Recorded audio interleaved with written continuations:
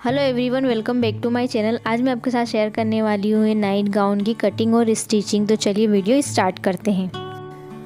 सबसे पहले मैंने यहाँ अपने कपड़े को लंबाई में इस तरह से फोल्ड कर लिया है। यहाँ मैंने कपड़े को चार भाग में फोल्ड किया है।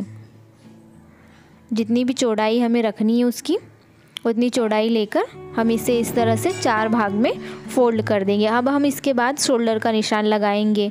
आम कुर्ती या फिर ब्लाउज कटिंग में हम शोल्डर को छः या साढ़े छः इंच रखते हैं। लेकिन हम यहाँ शोल्डर का निशान साढ़े तेरह इंच पर मैं यहाँ इसका शोल्डर का निशान लगा रही हूँ।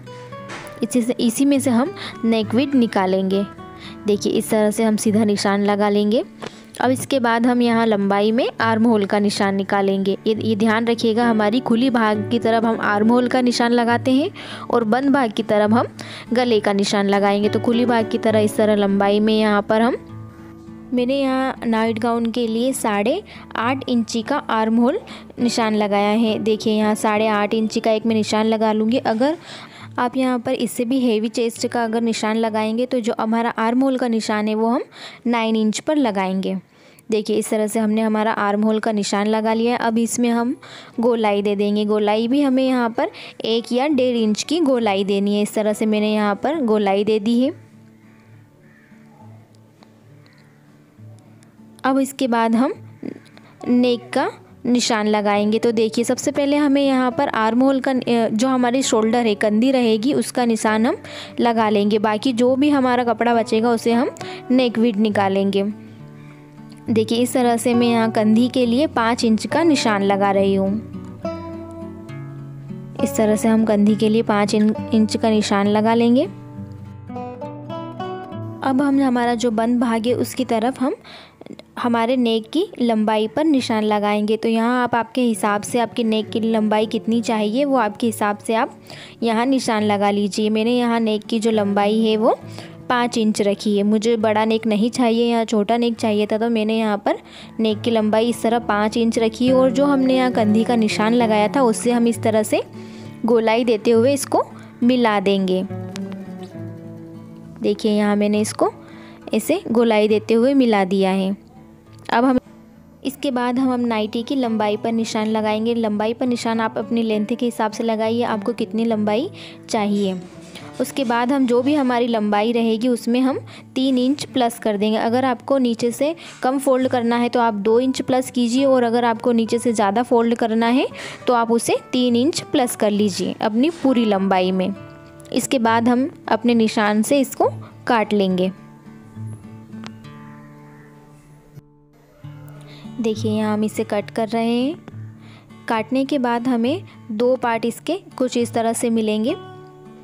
देखिए, बीच में हमारी नेक वीड है। अब हमारा जो ये गले वाला भाग है, इतना चौड़ा गला हमें चाहिए नहीं। हम बीच में इस तरह से छोटे छोटे प्लेट्स देंगे। देखिए, इस तरह से हम छोटे छोटे प्लेट्स दे देंगे, जो हमारा कंधी का निशान है, वहाँ तक। देखिए, इस तरह से छोटे छोटे हम यहाँ पर प्लेट्स दे देंगे गले में।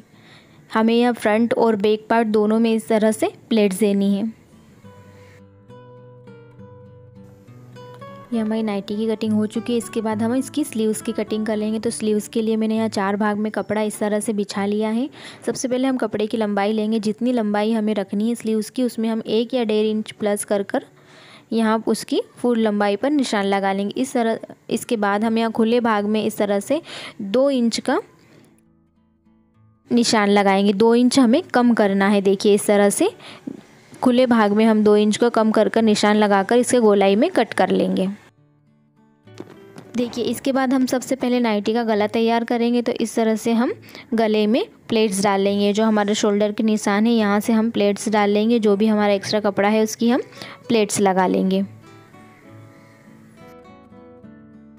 देखिए, इस तरह से प्लेट्स लगाते हुए हम गला तैयार कर लेंगे। हमारा जो शोल्डर का निशान है, उससे आगे जो भी बचा है कपड़ा, उसमें हम प्लेट्स लगा देंगे।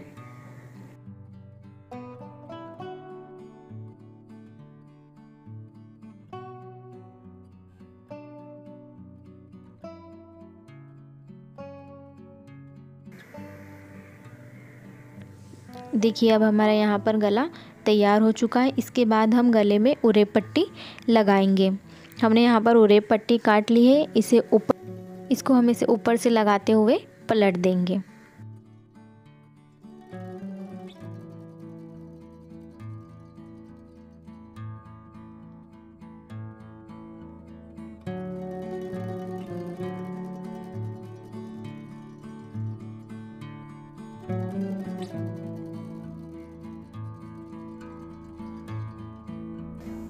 देखिए, इस तरह से हम रेप पट्टी को पलट कर ऊपर से सिलाई लगा देते हैं। जैसे हम ब्लाउज में पाइपिंग लगाते हैं और रेप पट्टी को पलट देते हैं और नीचे से सिलाई लगा देते हैं, वैसे ही हमें इसका गला तैयार कर लेना है। देखिए, हमने यहाँ पर इसका गला तैयार कर लिया है।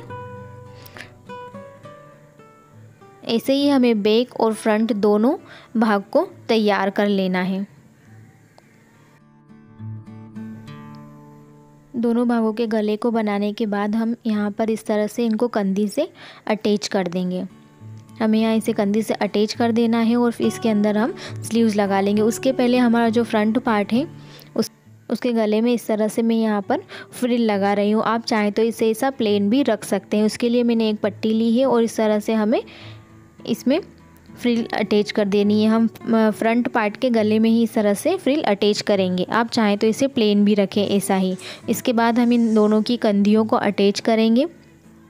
हमारे फ्रंट पार्ट और बैक पार्ट को इस तरह से कंधियों से अटैच कर लेंगे और अटैच करने के बाद हम इसमें स्लीव्स को भी अटैच कर लेंगे। देखिए, यहाँ पर मैंने गले में इस तरह से फ्रिल लगा ली है और इन्हें स्लीव्स को भी इसमें अटैच कर लिया है। बस आपको इसमें दोनों साइड स्लीव्स को अटैच कर लेना है। अटैच करने के बाद बाद इसमें सिर्फ़ हमें सीधी सिलाई लगानी होती है। इसमें हम फिटिंग नहीं देंगे नाइटी जो होती है लूज़ होती है। तो हम, जो हमारी स्लीव्स है, उसमें फिटिंग देते हुए इस तरह से लंबाई में हम इसको दोनों साइड सिलाई लगा लेंगे। देखिए, इस तरह से हमें दोनों साइड में इसे सिलाई लगा लेनी है, उनको अटैच कर देना है। दोनों पार्ट को हम अटैच कर देंगे और बॉटम में भी हम यहाँ पर इस तरह से इनको फोल्ड कर लेंगे। आई होप आपको मेरा ये वीडियो पसंद आया होगा। अगर आपको ये मेरा वीडियो पसंद आया तो मेरे वीडियो को लाइक कीजिए, अपनी फैमिली और फ्रेंड्स के साथ शेयर कीजिए और मेरे चैनल को सब्सक्राइब कीजिए। Thank you for watching